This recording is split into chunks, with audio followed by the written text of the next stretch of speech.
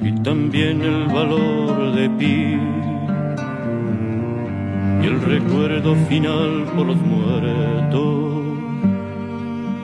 de la última guerra civil.